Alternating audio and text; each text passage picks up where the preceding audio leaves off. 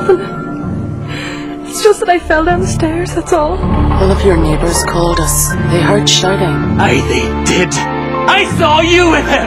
Him of all people. You're an you've got no decency. Calm down, sir. Why?